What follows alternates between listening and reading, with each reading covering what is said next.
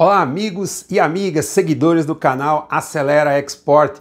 Eu gostaria de começar esse vídeo mandando um abraço para você que acompanha o nosso canal, que interage, manda sugestões, manda críticas. É assim que nós crescemos. Você faz parte desse canal, nós construímos junto com você, tá certo? Agora, se essa é a primeira vez que você está visitando esse canal, deixa eu me apresentar. Eu sou o trader Carlos Moura, tá? E esse é um canal de comércio exterior que foi criado para colaborar com a cultura do comércio exterior brasileiro, tá certo? Nós aqui abordamos sete temas importantes. Primeiro, marketing vendas, para você aprender a vender na exportação, a fazer melhores negócios na importação. Ensinamos também sobre legislação aduaneira, logística internacional, gestão financeira e cambial, negociação internacional, gestão da qualidade para o comércio exterior, tá certo? E por último, o sétimo tema, inovação nos produtos e processos, tá? É bem abrangente, mas tudo isso você precisa para fazer melhores operações de exportação e importação. E com essa cultura, certamente vai crescer na sua carreira e fazer melhores negócios, tá certo? Então, se você ainda não está inscrito nesse canal, aproveita agora, se inscreva, é bem simples e semanalmente você vai receber tá? Um conteúdo novo. Não se esqueça também de colocar o sininho para ser notificado dos novos vídeos, tá certo? E no vídeo de hoje nós vamos falar sobre um assunto muito importante, tá? Eu falei sobre gestão da qualidade. É justamente esse tópico que nós vamos falar no vídeo de hoje. Porque quando você está fazendo uma operação de exportação ou importação, você precisa garantir a qualidade para o seu cliente, seja na exportação ou você precisa também receber um produto de qualidade na importação e para isso você precisa fazer uma gestão muito bem feita. Você quer aprender sobre isso? Então fica nesse vídeo até o final. Então pessoal, vamos começar o vídeo de hoje falando sobre a gestão da qualidade no comércio exterior, um tema crucial para o sucesso das suas operações, seja de exportação ou importação. Hoje nós vamos falar da gestão da qualidade, mas simulando, tá? Uma operação, tá? Gestão da qualidade no comércio exterior, mas numa operação de importação. Então, você está comprando e você precisa garantir que o produto que você está importando, ele tenha uma boa qualidade para que você realize boas vendas depois, ou mesmo se você está importando uma matéria-prima que depois, quando você vai transformar no seu produto que vai colocar no mercado brasileiro, que a qualidade seja boa e que você tenha produtividade no seu processo. Então, esse conteúdo vai servir tanto para quem já compra o produto final, como uma matéria-prima que você vai transformar e depois, eventualmente, vai vender no mercado.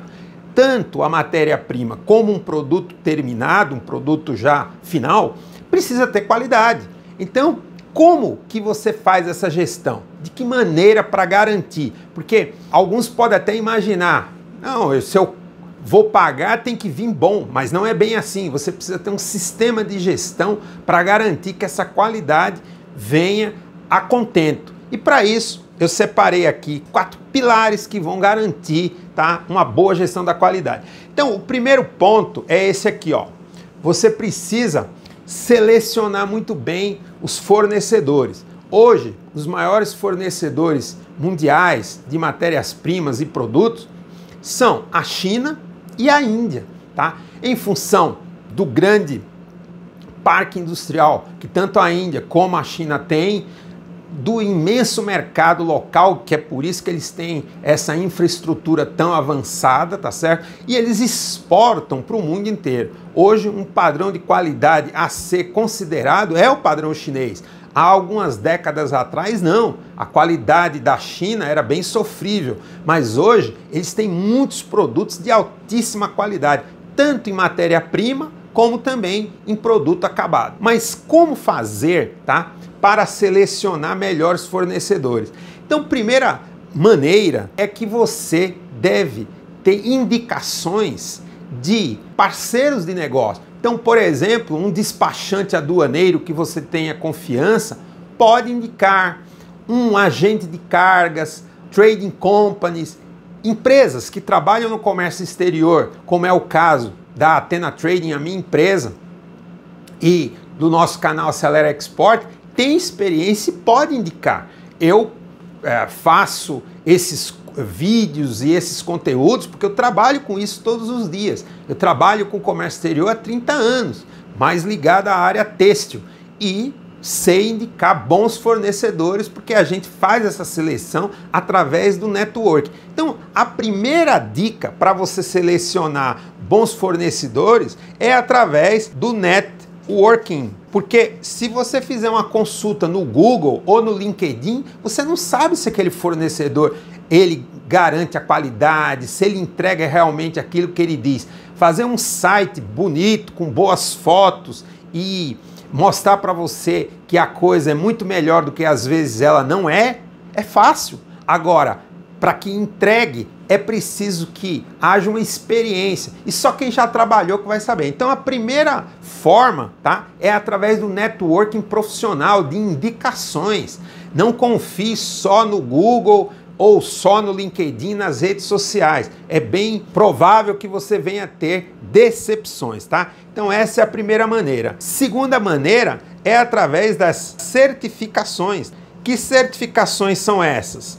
Por exemplo, como a gente está falando de qualidade, você tem a ISO 9000, que garante processos estáveis, você tem a ISO 14000 ambiental, mas existe uma série de outras normas por exemplo, aqui no nosso canal mesmo, nós falamos sobre a certificação halal, que é para quem quer exportar para o mercado árabe. A certificação halal, ela tem um padrão de qualidade muito interessante, obviamente mais voltado à comunidade árabe, porque tem alguns produtos que são permitidos, outros não são permitidos. Se você quiser saber mais sobre certificação halal, aqui na descrição desse vídeo você pode assistir, tá?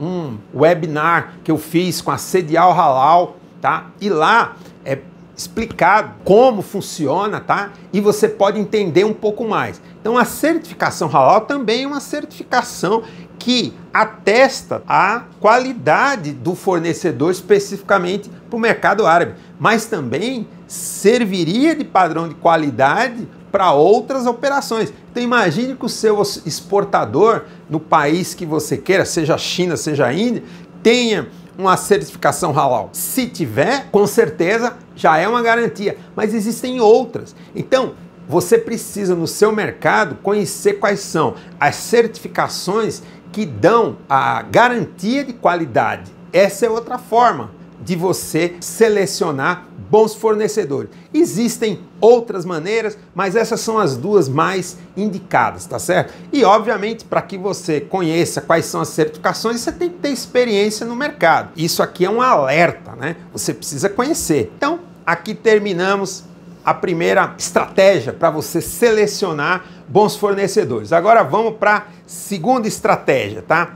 Critério de qualidade, compliance você precisa ter um critério de qualidade para poder exigir do seu exportador lá para que você receba aquilo que você espera. Então, por exemplo, no nosso caso da área têxtil, nós temos um sistema que chama é, o critério de qualidade dos quatro pontos que é um critério amplamente usado no Brasil e fora do Brasil. Tem uma série de regulamentos lá para garantir que o produto venha com a qualidade aceitável no, no que diz respeito a tecido. Mas nas outras indústrias e outros produtos, tem também esse critério de qualidade, essas normas de qualidade. Então você precisa usar isso, entender porque o seu exportador deveria cumprir isso. Inclusive, você pode incluir esse critério de qualidade no contrato comercial e na carta de crédito, se você for fazer. Mas eu vou falar isso no ponto 4. Então, ter um critério de qualidade para ver o que se chama de compliance, a conformidade, é fundamental. Você precisa ter tudo detalhado. E nesse critério de qualidade, vai estar tá escrito lá, por exemplo, qual é a variação em peso, metragem, volume, várias questões com relação ao produto, mas também defeitos. O que é um produto de primeira qualidade? Quantos defeitos podem ter por exemplo, num tecido. Então existe toda uma regra e quantificação para você saber. Mas os outros produtos também têm isso. Então você precisa saber o que é aceitável. E o seu exportador tem que cumprir esse critério de qualidade. Mas você precisa ter isso. Senão, ele pode mandar o que ele acha que é primeira qualidade, mas para você não é. Cada mercado é de um jeito. O que, que vai uniformizar? O critério de qualidade. Essa é a segunda forma de você fazer uma gestão da qualidade eficaz, tá certo? Terceiro, tá? Empresa certificadora do que? Da qualidade. Então, existem empresas internacionais, são empresas globais que fazem esse trabalho. Exemplo, SGS, Existem outras, tá? Estou citando a SGS porque eu tenho trabalhado com uma certa regularidade com a SGS. São empresas que vão pegar o seu critério de qualidade, tá? O critério de qualidade que eu falei aqui no ponto 2, e vão verificar em loco na fábrica lá, seja na Índia, seja na China, onde for, não importa, seja é, na Europa, onde for, eles têm escritórios no mundo todo e vão verificar se aquele lote de produto que foi produzido atende ao critério de qualidade que você estipula. É como se fossem os seus olhos lá. Eles fazem isso de forma estatística, mas que é, funciona muito bem e que te dão a garantia que aquele lote vai vir dentro do critério de qualidade do compliance que você estipulou. Então, você precisa ter essa empresa.